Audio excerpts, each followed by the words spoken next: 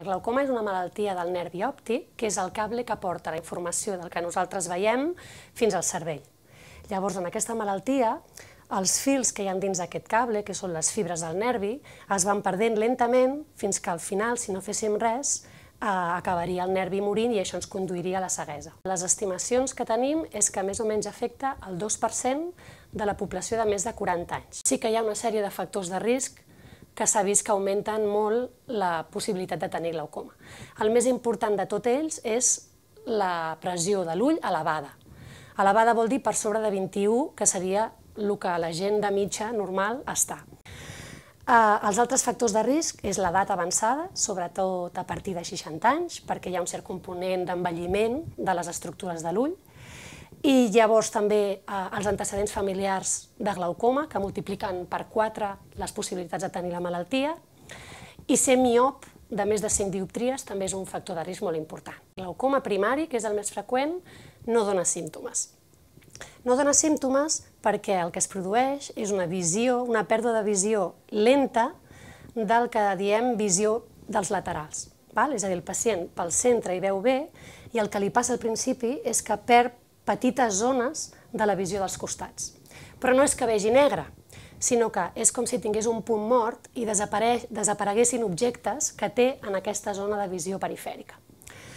Per tant, al principi de la malaltia no noten gaire, perquè el cervell omple aquests, aquests forats i el que tenen és informació errònia. I en un primer moment el que els hi passa és que són una mica més torpes, no és fins a les etapes més avançades del glaucoma que realment són conscients i es produeix una pèrdua de visió severa, que és com una visió en túnel. Al centre veuen bé, als voltants no. Però això només passa molt al final. Per diagnosticar el glaucoma s'ha de fer una exploració oftalmològica completa.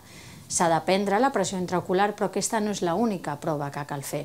S'ha de mirar l'aspecte del nervi òptic, que és l'estructura que pateix les conseqüències de tenir la pressió intraocular elevada, s'ha de veure quin aspecte té i, a més, s'ha d'avaluar la seva funcionalitat mitjançant una prova que no és invasiva, que és el camp visual, en el qual s'ensenyen doncs, una sèrie de llums al pacient i aquest ha de dir si les veu o no.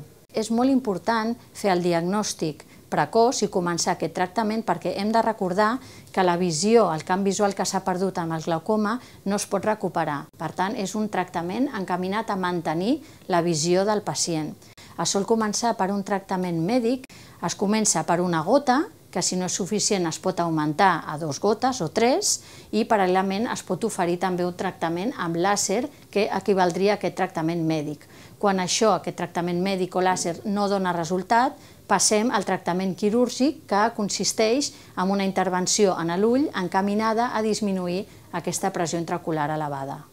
És recomanable que una persona amb glaucoma segueixi un estil de vida saludable, que faci una dieta variada, rica en vitamines, eh, que no eh, abusi, dels, eh, per exemple, del cafè o tòxics com el fumar, i també que faci exercici, és molt bo l'exercici aeròbic a l'aire lliure, eh, però hem d'anar amb compte perquè no tots els esports són beneficiosos amb les persones amb glaucoma. Per exemple, els que fan ioga i estan molta estona a la posició invertida o els que carreguen grans pesos, aquests esports augmenten la pressió sobre el nervi òptic. En principi li diria que ha estat molt important que l'hagin diagnosticat perquè actualment encara, malauradament, hi ha un 50% de casos sense diagnosticar.